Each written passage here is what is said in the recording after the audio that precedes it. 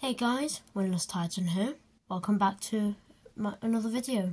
And today we're going to be reviewing the third largest Lego set ever at the time of filming this video. The Lego Titanic. Box is so big I can't I have to pick up my tripod to fit in the frame. Like, it's absolutely massive. Here's my hand for scale. The front of the box shows the Titanic and with a nice gold glow in the background. There it says Titanic there. Got some dimensions just there. 44 centimetres, 135 centimetres long, 44 centimetres tall, about 16 centimetres wide. It's recommended for ages 18 and up. It's set number 10294 and it has 9,090 pieces. The bottom and the bottom edge of these box. Oh, bottom edge of that. I'm keeping that in. Bottom edge of that box. The, the, the box is just entirely gold greebling, which I think looks really nice. the top of the box, you just have the Titanic with the same gold background. You have um, the anchor, the central anchor crane there for in one to one scale just to give you a sense of scale of the set. Just got another Lego logo with Titanic, aka ah, sorry, this keeps flipping around. Titanic, Le Titanic, Titanics. Um, side of the box, you just get another view of the ship. I'm sorry if it keeps flipping around. It's just annoying. The back of the box, you see um, the back of the ship with a couple of little details on the set. And on the side of the box, you just have the stone. Upon opening the box, you have um, some nice wireframe art of the Titanic. Open it up further. Get rid of these you have three inner boxes which look really cool. And as you can see when you take the inner boxes out you've got some more wireframe art of the set or of that section you're building. And when you take them all out together you get this really cool wireframe art. On the other side you have the same thing. Here are the instructions. And in the front of each... Ah, keeps flipping. Sorry. Um, but in the front of each instructions, you get a little bit of information about the set. And you do get little snippets along the set as well. Let's see if I can find one of them. Like, uh, come on. Uh, yeah, that's what the instructions look like inside, by the way. You've got um, lots of little details.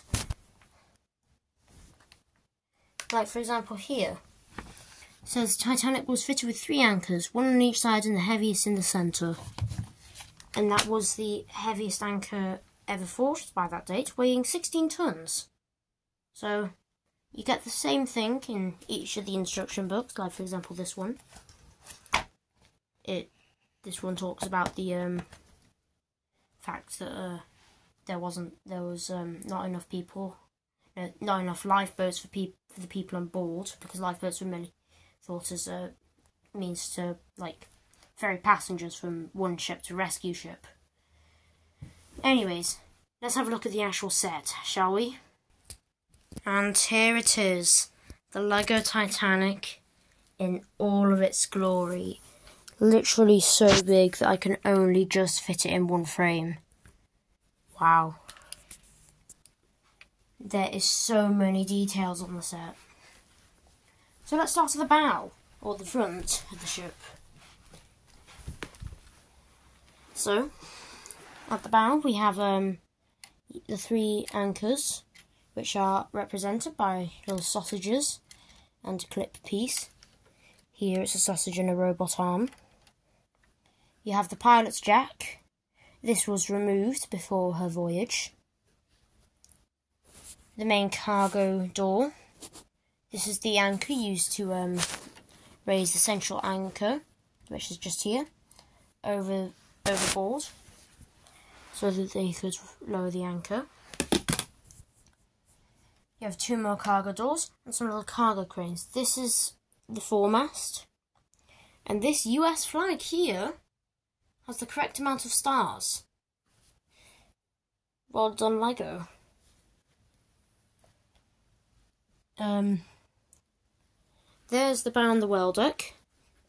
Well, technically you build this in six sections. So that's the first section. Well, the second section you build is part is the end of the bow section. There is. Uh, well, let's go on until here. And as you can actually see, there's two big old seams in the set. I'll show you what they do in a second. The funnels are really well done. Um, I really like the bright yellow colour really contrasts with tan. The bridge is quite good. It's missing two of the windows, but yeah, I'll be fine. But if if you want me to be really nitpicky, I, I'd rather Lego just like remove this air vent because it was never there. And to move that air vent to the bow where there was an air vent.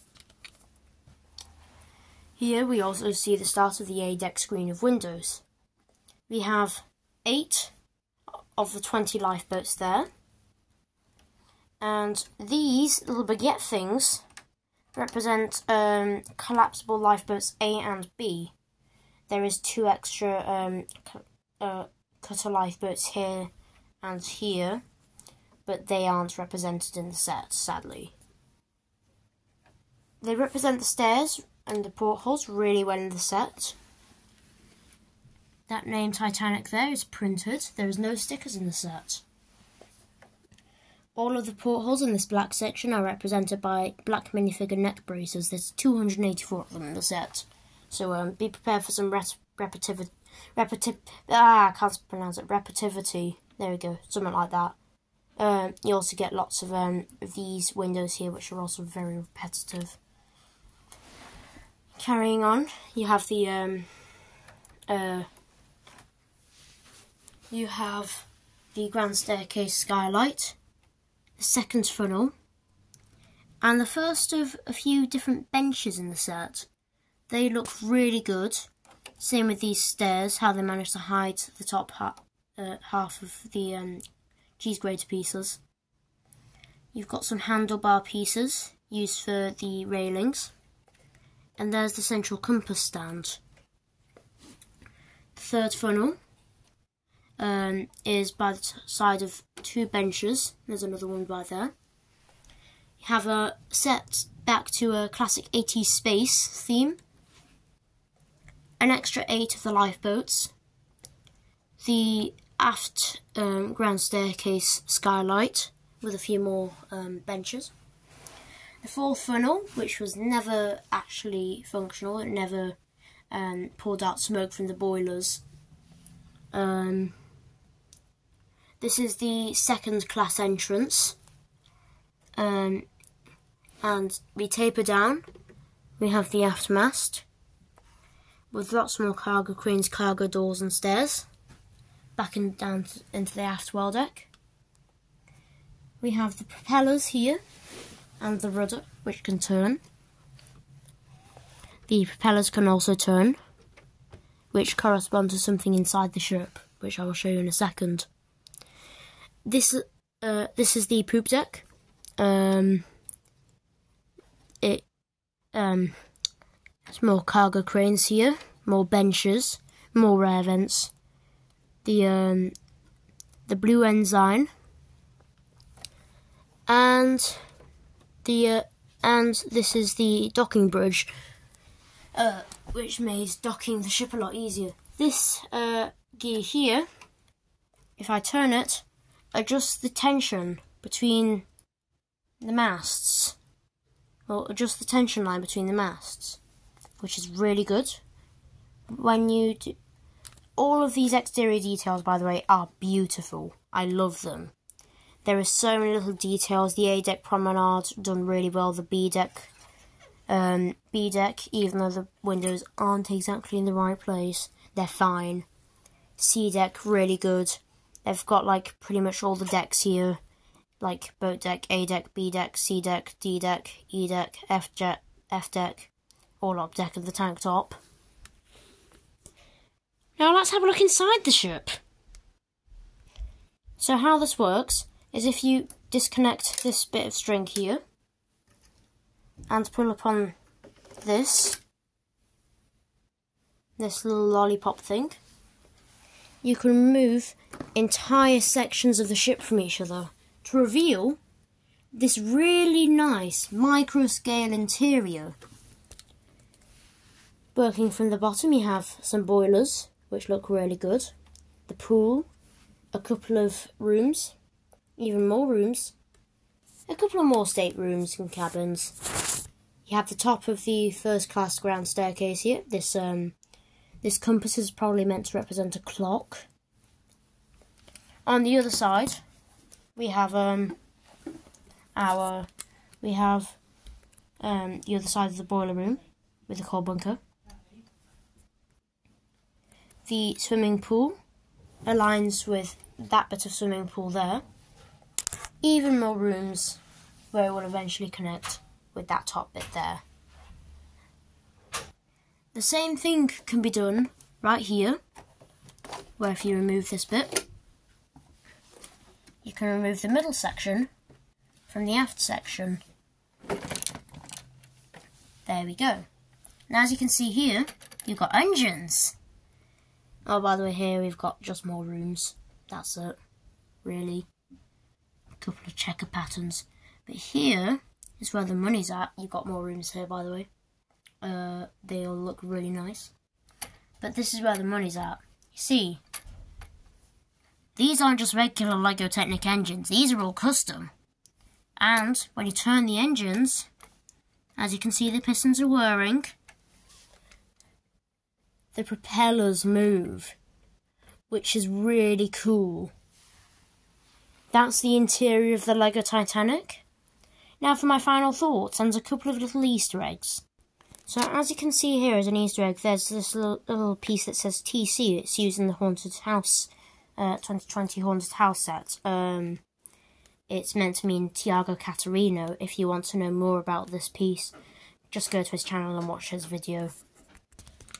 The set also comes with um, a little display stand, which I forgot to say. They use the pieces from the typewriter in this. Which you can just put right there. Right, time for my final thoughts and would I recommend this set. Uh, firstly, this set is great. 10 out of 10 would recommend. Um, whether you want to buy this set uh, or ask for it or something, for like a birthday or Christmas present, um, this set is really good. Um, if you really like Titanic, this is exactly the set for you. Uh, it is a challenge. It is a really challenging yet rewarding build. Um, the set is a bit repetitive, but um, can. But looking besides that, it is beautiful when it's finished. Um, yeah. If you really want it, if you have the time, money, space for it, I would recommend. And also, if you're just um, relatively interested in this ship, it would also um, be good to have a look at it. And there's my review. So um, make sure to leave a like, subscribe, um, check out some of my other videos, and I'll see you next time. This is Windless Titan, signing off.